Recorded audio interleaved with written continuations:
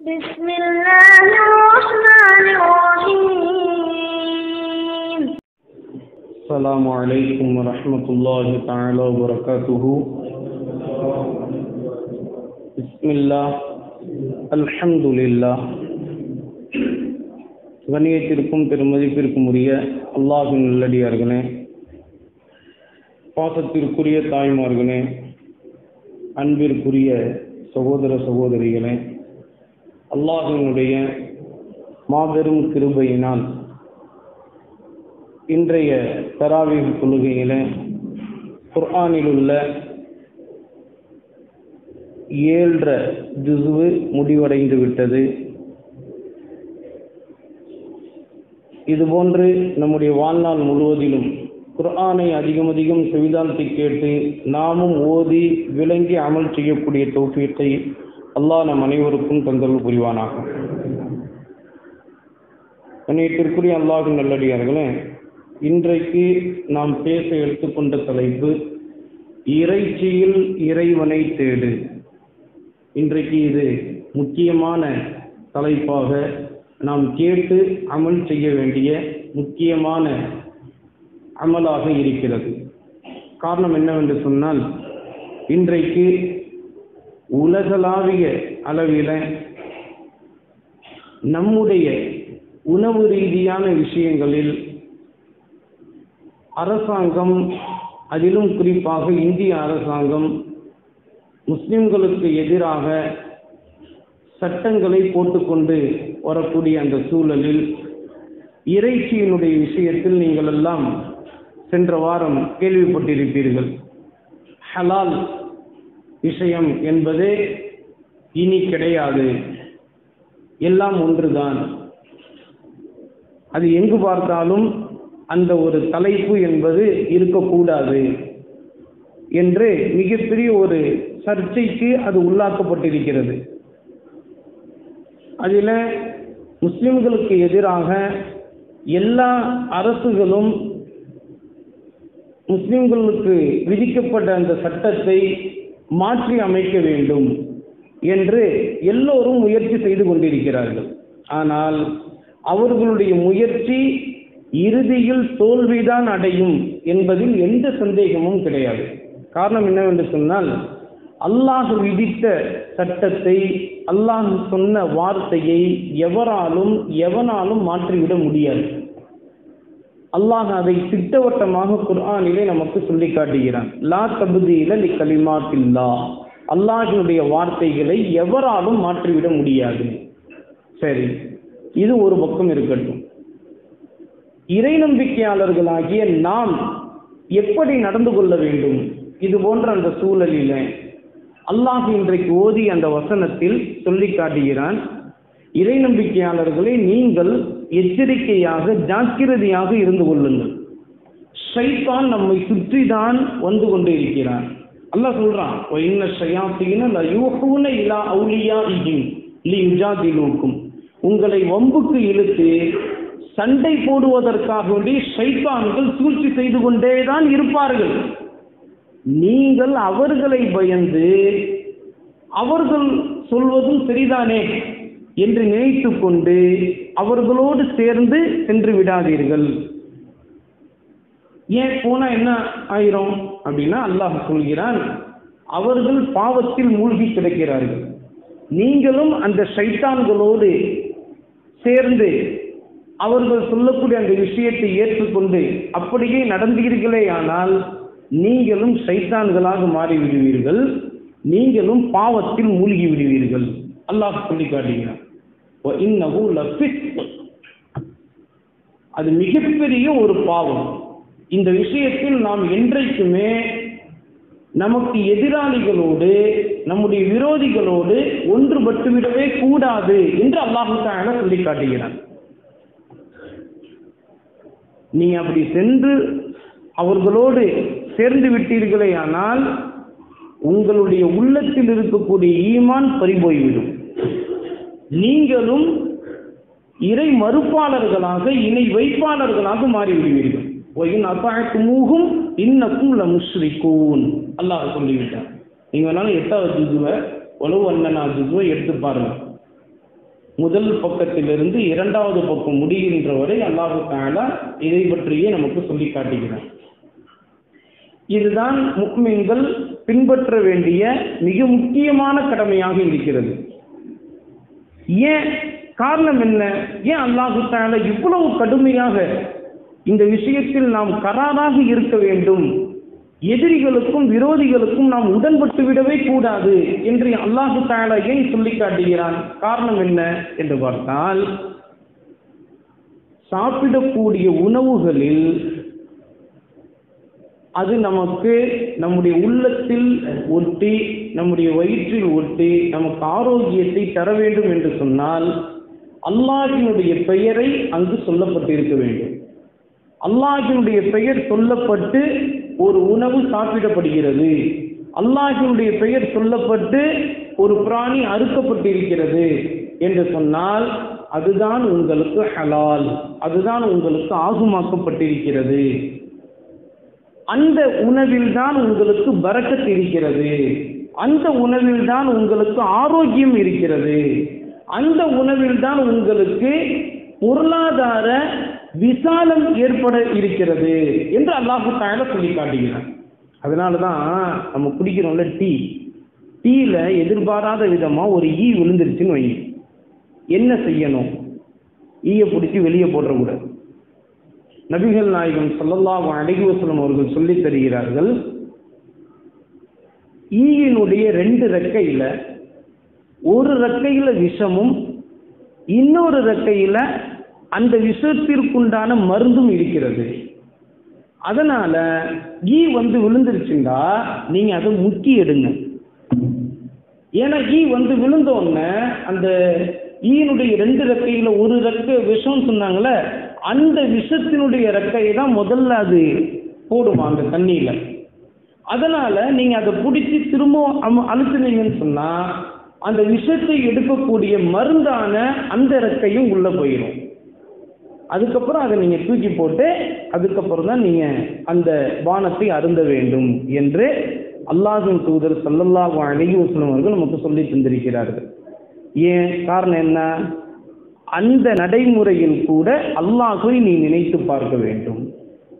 சரிங்க. ஏன் இப்படி ஒரு நடைமுறையை அல்லாஹு தாயில சொல்லி காட்டினான்? அந்த காலகட்டத்திலலாம் இப்போ நம்ம இன்னைக்கு மாற்று மதத்தினர்களை பார்க்குறோம்ல சில பிராணிகளை வந்து இது வந்து சாமிக்காக வேண்டி ஒ- ஒத்தி வைக்கப்பட்டிருக்கு. இதை வந்து யாரும் தொடக்கூடாது. அதுக்குன்னு ஒரு அடையாளம் வேற ஒரு சங்கிலி வேற கழுத்தில் அது கழுத்தில் மாட்டி விட்டுருப்பாங்க. அதே மாதிரி காதில் வந்து ஏதாவது ஒன்று தொங்க விட்டுருப்பாங்க. இதெல்லாம் அடையாளத்துக்கு. அந்த மாதிரியான பிராணிகள் நம்ம கொடுக்கறது இல்லை நம்ம கொடுக்கக்கூடியது அல்லாஹுவை நினைத்து பார்க்க வேண்டியது. அல்லாஹுவை நினைத்து பார்க்கக்கூடியது. அந்த காலகட்டத்திலலாம் வந்து இறை மறுப்பாளர்கள் என்ன செஞ்சிருந்தாங்கன்னா அல்லாஹுக்காக வேண்டி ஒரு பிராணி அல்லாஹ் அல்லாத மற்ற தெய்வங்களுக்காக வேண்டி உள்ள ஒரு பிராணி அப்படின்னு ஒதுக்கி வச்சிருவாங்க.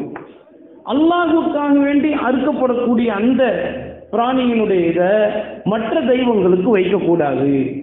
மற்ற தெய்வங்களுக்கு வைக்கக்கூடிய அந்த அறுக்கப்படக்கூடிய பிராணியை அல்லாஹுக்காகவே நீங்க ஒதுக்கக்கூடாது அப்படின்னு ஒரு விதிமுறையை வச்சிருந்தாங்க.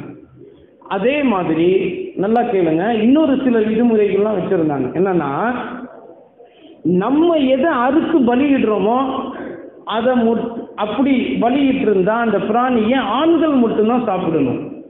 பெண்கள் சாப்பிடக்கூடாது. அதுவாக எது செத்து போகுதோ அந்த பிராணியை நம்ம அறுத்தோம்னா அது ஆண்களும் பெண்களும் சாப்பிடலாம். அப்படிங்கிற மாதிரி சில விதிமுறைகள்லாம் அவர்களுக்குள்ளாக அவர்கள் ஏற்படுத்தி வைத்திருந்தார்கள். அப்ப அல்லாஹு தாயலா இந்த சூறாவையும் இந்த ஆயத்தையும் இறக்கி தந்து அப்படியல்ல ஆடு மாடு ஒட்டகம் என்பது மனிதர்கள் சாப்பிடுவதற்காக வேண்டி படைக்கப்பட்டிருக்கிறது என்று அல்லாஹு தாயலா இந்த சூறாவில் இறக்கி தந்து முதல் முதலாக இந்த உலகத்திற்கு ஆடு மாடு ஒட்டகம் போன்ற பிராணிகள் அதுபோல ஒரு சில பறவைகள் இதுவெல்லாம் மனிதன் தன்னுடைய ஆரோக்கியத்திற்காக வேண்டி சாப்பிடக்கூடிய உணவுகளில் கட்டுப்பட்டது என்று அல்லாஹு தாயலா அந்த சூறாவில் இறக்கி தந்தான். அதனால தான் அல்லாஹு தாயலா அந்த சூறாவிலே சொல்லி காட்டுகிறான் எந்த ஒரு பிராணி? அல்லாஹ். பிஸ்மில்லாஹி அல்லாஹு அக்பர் என்று சொல்லி அறுக்கப்படுகிறதோ அந்த பிராணியை சாப்பிடுவது தான் நமக்கு ஹலால். அந்த பிராணியை சாப்பிடுவது தான் நமக்கு ஹலால். இப்போ ஒரு மனிதர் முஸ்லிமான மனிதர் அறுக்கும் போது எதேச்சையாக பிஸ்மில்லாஹி அல்லாஹு அக்பர் அப்படின்னு சொல்ல மறந்துட்டார். சொல்ல மறந்துட்டார். யாருங்க? ஒரு முஸ்லீம். ஒரு முஸ்லீம் அறுக்க போறாரு. எதேச்சையா அந்த சூழல்ல பிஸ்மில்லா அல்லாஹ் சொல்லாமையே அறுத்துட்டார். இப்போ அதை சாப்பிடலாமா? மார்க்கம் என்ன சொல்லி காட்டுகிறது? அல்லாஹுவின் தூதர் சொல்லல்லாஹு அழகிய சொல்லம் அவர்களிடத்தில் கேட்கப்பட்டது. யார் சூழல்லாம் ஒரு முஸ்லிமான மனிதர். பிஸ்மில்லாகி அல்லாஹ் ஒருவர் என்று சொல்ல மறந்துட்டார். அது வேண்டுமனே அவர் விடல. மறந்துட்டார் எதேச்சையா சொல்லாம விட்டுட்டு அவர் அறுத்துட்டார். இப்போ அந்த பிராணியை நம்ம சாப்பிடலாமா? அப்ப நபிகள் நாயகன் சொல்லாயிட்ட அவர்கள் சொன்னார்கள் குலூஹு அதை சாப்பிடுங்கள். காரணம் என்ன? இவர் தான் வந்து பிஸ்மில்லா அல்லாவுக்கு சொல்லலையே அப்படின்னா நபிகள் நாயகன் சொல்லாயிட்ட அவர்கள் தருகிறார்கள் ஒவ்வொரு முஸ்லிமான மனிதனுடைய உள்ளத்திலும் எப்போதுமே பிஸ்மில்லா என்பது இருக்கும். எப்படிங்க? நபி சொல்லா என்ன சொல்றாங்க?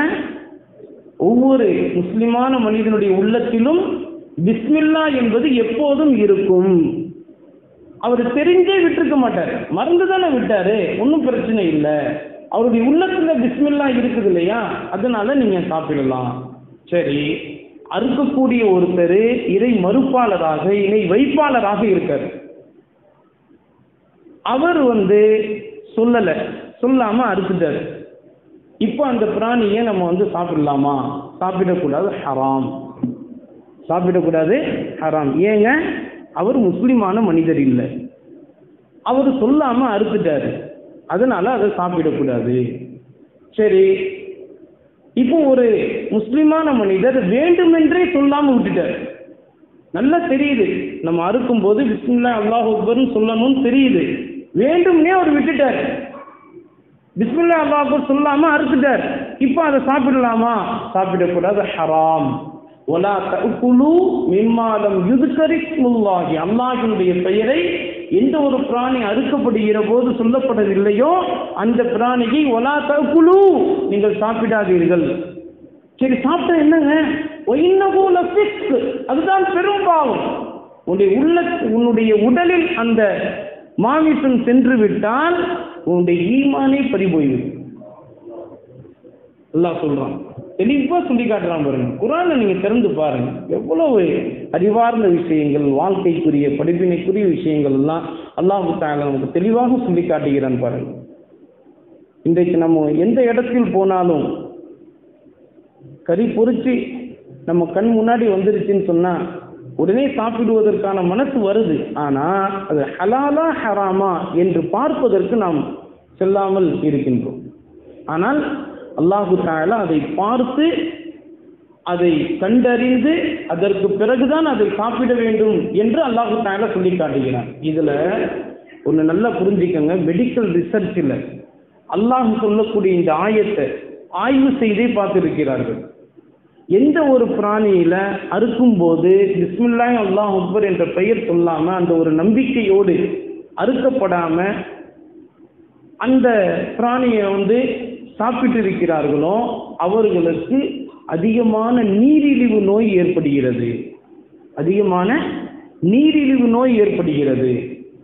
இது அல்லாமல் உடலுக்கு தேவையில்லாத நோய்கள் எல்லாம் கிருமிகள் எல்லாம் உண்டாகி விடுகிறது என்பதை மெடிக்கல் ரிசர்ச்சில் இன்றைக்கு பதிவு செய்திருக்கிறார்கள் அதைத்தான் அல்லாஹு தாலா அன்றைக்கே ஆயிரத்தி நானூறு ஆண்டுகளுக்கு முன்பே நீங்கள் இறைச்சியை சாப்பிடுகிற போது கூட இறைவனை நினைத்துதான் சாப்பிட வேண்டும். அதில் தான் உங்களுக்கு ஆரோக்கியம் இருக்கிறது என்று அல்லாஹு தாலா தெளிவாக சொல்லி காட்டிவிட்டான் இன்றைக்கு இவர்கள் வந்து அல்லாஹுடைய சட்டத்தை மாற்றுவதற்காக முயற்சிக்கிறார்கள். கண்டிப்பாக அவர்களுடைய முயற்சியில் அவர்கள் தோல்விதான் அடைவார்கள். ஏன்னா அல்லாஹ் தெளிவா சொல்லிட்டான் இடையே நீ என்ன வேணாலும் முயற்சி பண்ணு. யுரீதூனல் யுத்துஃபிஉ நூரல்லாஹி பி அஃப்வாஹிஹிம் வல்லாஹு முத்திம்மு நூரிஹி வலவ் கரிகள் காஃபிரூன். நீ என்னதான் முயற்சி செஞ்சாலும் சரி இறுதியில் முடிவு அல்லாஹுவின் பக்கம்தான் வெற்றி. என்பதை அல்லாஹு தாலா தெளிவாக நமக்கு சொல்லி காட்டிவிட்டான். எனவே அல்லாஹ் சொன்னதின்படி நம்முடைய உணவுகளிலே நாம் செயல்படுவதற்குண்டான தோப்பியத்தை அல்லாஹ் நம் அனைவருக்கும் தந்தல் புரிவானாக. ஹலால் ஹராமை பேணி வாழக்கூடிய நல்லடியார்களாக அல்லாஹ் நம் அனைவரையும் ஆக்கி அருள் புரிவானாக. எல்லா விஷயங்களிலுமே கவனத்தோடு செயல்படக்கூடிய பேணுதலோடு வாழக்கூடிய தௌஃபீக்கு பெற்ற நல்லடியார்களாக அல்லாஹ் நம் அனைவரையும் ஆக்கி அருள் புரிவானாக நம்முடைய வியாபாரத்திலும் தொழில் துறையிலும் சகலவிதமான காரியங்களும் பறக்கத்தின் அபிவிருத்தியை அல்லாஹு தாயலா நிறைவாக நமக்கு தந்தல் புரிவானாக. வாழ்நாள் முழுவதும் தொழுகையில் பேணுதல் உள்ளவர்களாக இருந்து தொழுகையை இமாம் ஜமாயத்தோடு தொழக்கூடிய பாக்கியம் பெற்றவர்களாக அல்லாஹ் நம் அனைவரையும் ஆக்கி அருள் வாழ்நாள் முழுவதிலும் குர்ஆனை ஓதி அதனை விளங்கி அமல் செய்யக்கூடிய நன்மக்களாக அல்லாஹ் நம் அனைவரையும் ஆக்கி அருள் வாழ்நாள் முழுவதிலும் நம்முடைய நாவினால் அதிகம் அதிகம் செலவாக்கு செல்லக்கூடிய நாவை அல்லாஹு தாலா நம் அனைவருக்கும் தந்தல் புரிவானாக என்று கூறி என்னுடைய உரையை நான் முடித்துக் கொள்கிறேன். அஸ்லாம் வலைக்கம் வரமத்துல்லாஹி தஆலா வரகாத்துகு